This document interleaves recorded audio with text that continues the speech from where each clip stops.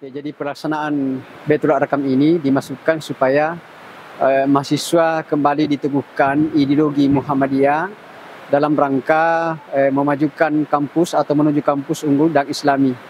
Nah karena itu eh, mahasiswa harus senantiasa berperilaku atau ber, berkepribadian seperti kepribadian yang dilakukan oleh Perserikatan Muhammadiyah. Tentu dalam rangka mengawal eh, para lembaga mereka memberikan contoh kepada mahasiswa secara luas.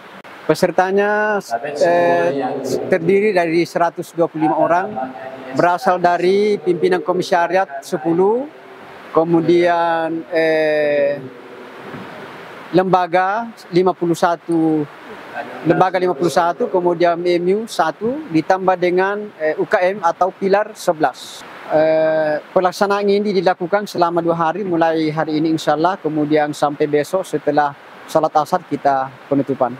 Tujuan yang pertama ialah pertama sebagai wadah silaturahmi bagi lembaga kemahasiswaan. Yang kedua untuk menanamkan nilai-nilai ideologi Perserikatan Muhammadiyah di kalangan mahasiswa.